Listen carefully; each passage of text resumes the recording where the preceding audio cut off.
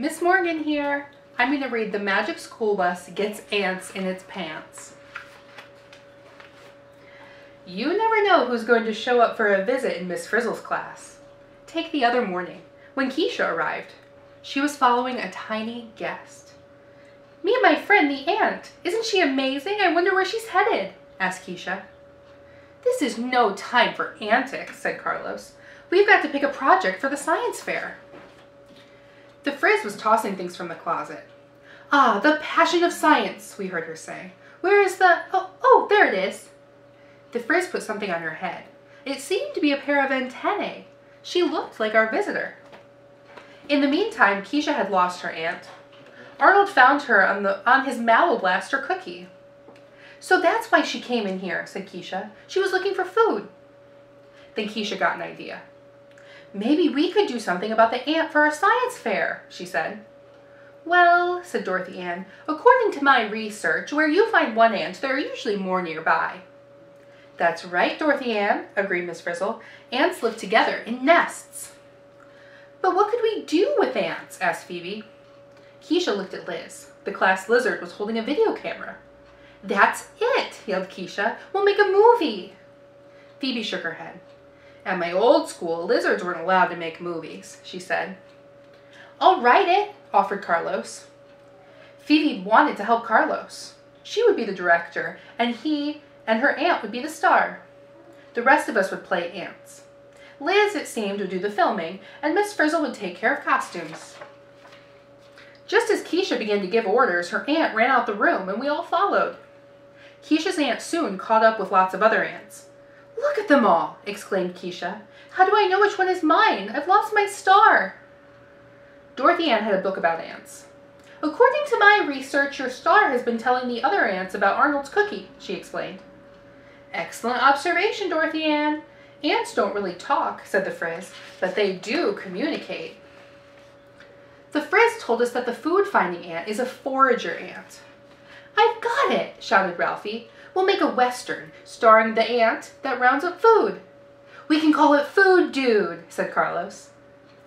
All of a sudden, Miss Frizzle got that look she sometimes gets. Then the magic school bus honked. All aboard, Miss Frizzle said. We each found a seat and fastened our safety belts.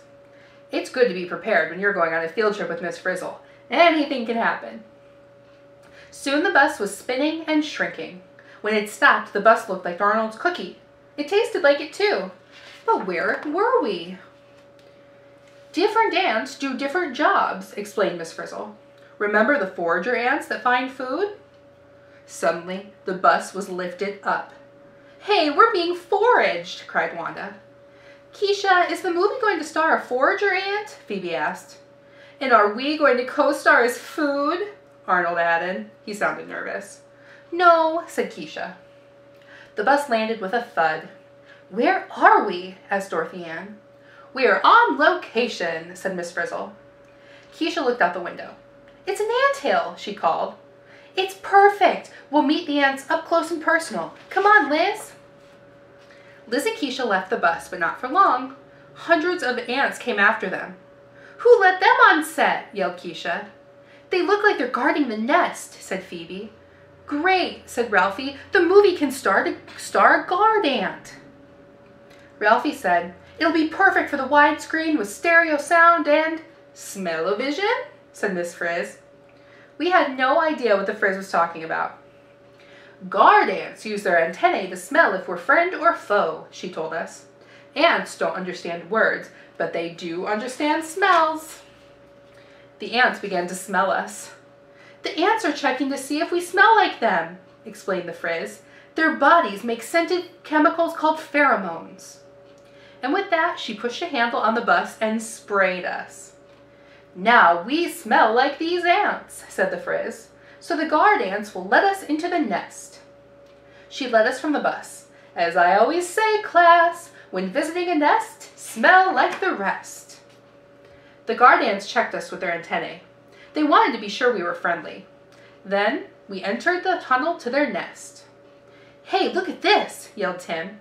He pointed to hundreds of ants running back and forth. The place was crawling with them. Okay, places everyone, yelled Keisha in her best movie director's voice. but we weren't quite sure how to act like ants. What about makeup, Keisha? asked Dorothy Ann. And what's the plot? Who's the star? asked Carlos.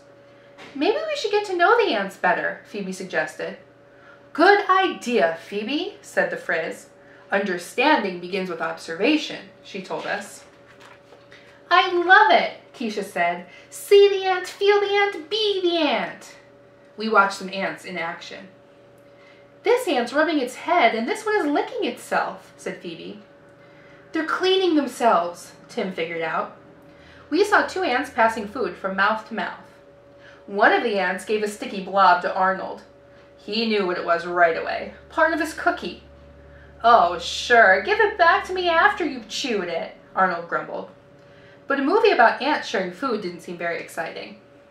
Carlos crossed that idea off his list. Okay, he said, this movie is not going to be about a forager ant, a guard ant, or a food-carrying ant. Keisha was still looking for the star of our movie. As she walked toward one of the tunnels, some of the ants grabbed her and raced away. Then some other ants picked up the rest of us. Now things were getting very exciting. We were part of a great chase scene. Suddenly they dumped us in front of a chamber. Wait a minute, yelled Tim. What's in there? He pointed into a room where ants were carrying something. They're like little worms, observed Dorothy Ann. An ant gave one to Arnold. You look like you're holding a baby, said Dorothy Ann. Maybe it's a baby ant. Miss Frizzle explained that baby ants are called larvae. Just one was a larva, and that's what Arnold was holding. Who ever heard about a movie about larvae? asked Keisha. We watched the ants move the larvae. I bet they're trying to keep the larvae warm, said Tim. Miss Frizzle explained that these were nurse ants. Their job is to move the young around the nest to keep them the right temperature, and when they get a little older, the larvae will become pupae. But Keisha didn't want to make a movie about a larva or a pupa. Where's the excitement? she asked. Well, what about an egg? asked Phoebe. Where do ant eggs come from anyway? Good question, Phoebe, said Miss Frizzle. The eggs came from the queen. Keisha loved it. That's it, a royal star, she cried. Carlos and Keisha began to look for the queen. While they were looking, Phoebe noticed water coming through the walls. Heads down, called the Frizz. The nest started to shake and the tunnel caved in. As we picked ourselves up, ants ran past us. There were ants everywhere. Look, yelled Tim, they're already repairing the nest. That's right, said Miss Frizzle, they're builder ants. Keisha was still on a mission. To the queen, she shouted. There's only one, and she's our star. At first, we didn't even see her. There she is, said the Frizz. She's the biggest one. But she's not doing anything, said Wanda. Miss Frizzle said the queen was the only ant who laid eggs. Keisha was upset. The queen laid an egg, the end, she said. I thought a movie about ants would be perfect for our science project, but I was wrong. She turned and ran out of the nest. Phoebe found Keisha sitting in the rain. No movie, no story, no star, Keisha said sadly. What kind of star just sits there and lays eggs? Well, without the queen there wouldn't be eggs, Phoebe said. So, said Keisha, without the ants that bring food, there wouldn't be a queen. Suddenly she and Phoebe understood. All the ants work together. Without the forager ants, there wouldn't be food. Without the builder ants, there wouldn't be a nest. Without the guard ants, the nest would be attacked. Keisha and Phoebe ran toward the bus.